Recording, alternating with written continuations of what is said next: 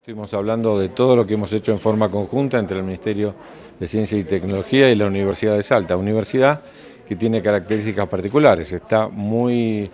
comprometida con su gente, está muy comprometida con su territorio y nos ha contado el rector cómo han llevado adelante actividades en el conjunto de la provincia, no solo acá en la sede central de la universidad y junto con la presidenta del CONICET, el presidente de la Agencia de Investigaciones y Desarrollo, hemos estado hablando cómo hacemos para apoyar aún más complementar más el trabajo del Ministerio y federalizar más la ciencia. Hoy contábamos que cerca del 85% de la ciencia está concentrada en cuatro provincias y que Salta tiene capacidades enormes y vamos a dedicarle mucho esfuerzo y muchos recursos a ayudar a Salta que tenga, como hicimos hoy en el caso de la astronomía, como hicimos hoy en el caso de los procesos y los proyectos productivos, también en la investigación académica vamos a trabajar en la misma dirección. Por supuesto, justamente lo que hace falta es que haya un Estado nacional que esté dispuesto a hacer un esfuerzo enorme para que el capital humano quede acá. Así como nosotros necesitamos que agreguemos valor a las materias primas en los lugares donde se producen, también necesitamos generar oportunidades laborales y generar oportunidades, en este caso, de investigación y desarrollo tecnológico en el lugar para que se queden aquí. Por supuesto, muchos de ellos van a ir a formarse quizás a otro lado, como hemos ido todos, pero después vuelvan acá y tengan la posibilidad de tener un horizonte, un futuro en el lugar donde nacieron. Bueno, ese es un hecho que lo hemos hablado con el rector, porque también pasamos por momentos donde la educación pública no fue valorada y la investigación no fue valorada. Entonces hay que capitalizar todo el esfuerzo que se hace por la educación pública, que es la educación de todos y de todas. Es la educación que realmente permite que haya nuevamente movilidad social ascendente y que cada uno no esté condicionado por su cuna, por el origen, sino por las capacidades que tenga para poder este, defenderse en la vida y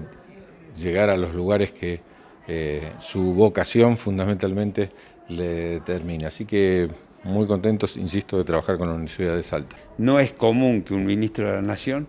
nos visite, eh, esta es una experiencia única, además a mí me tocó estar de decano, presidir la Comisión de Hacienda del Superior, cuando tuvimos este, muy, buenos, este, muy buenas experiencias, sobre todo de lo que había hecho el ministro, de Daniel, porque en ese entonces, siendo decano de Económica, manejaba, como le decía,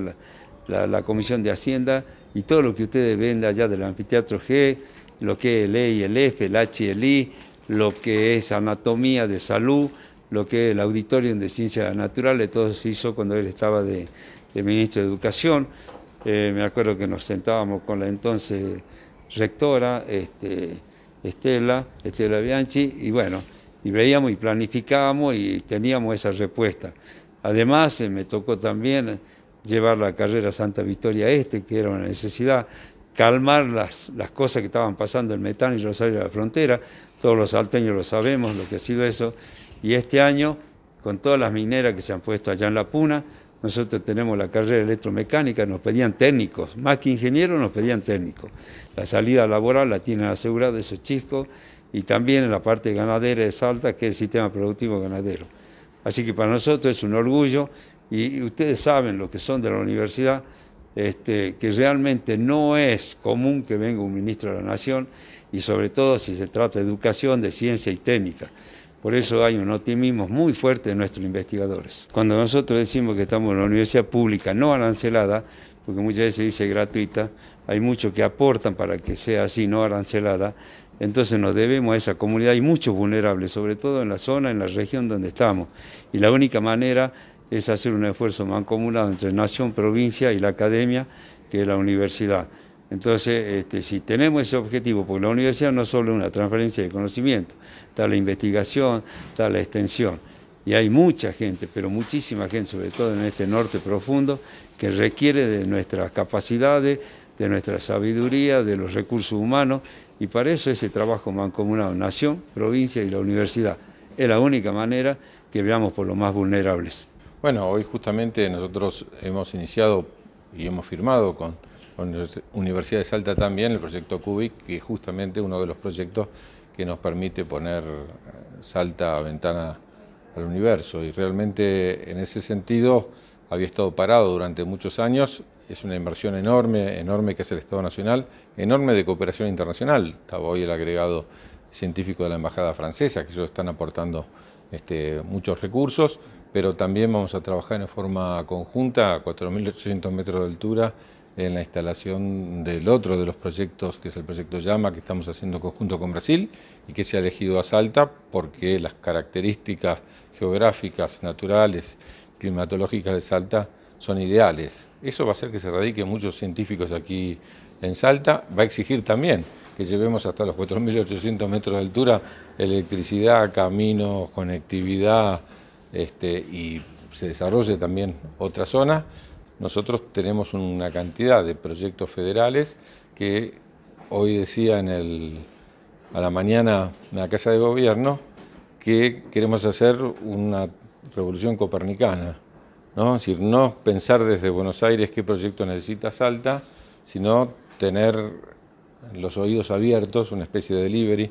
que Salta nos diga qué es lo que necesita, que la Universidad de Salta nos diga cuáles son las áreas que necesita desarrollar, qué es lo que quiere la, industria, qué es lo que quiere, cuáles son las necesidades sociales, de pobreza, de seguridad, de educación que tiene Salta para que nosotros lo apoyemos desde el punto de vista científico. Bueno, nos llevamos muchos, muchos logros. Eh, la visita a un instituto nuevo, nuevo no el instituto, pero sea construcción,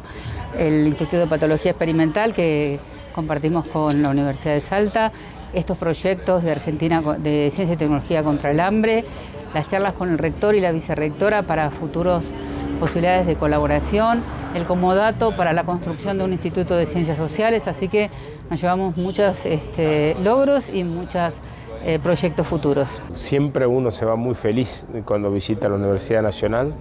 En este caso ha venido el ministro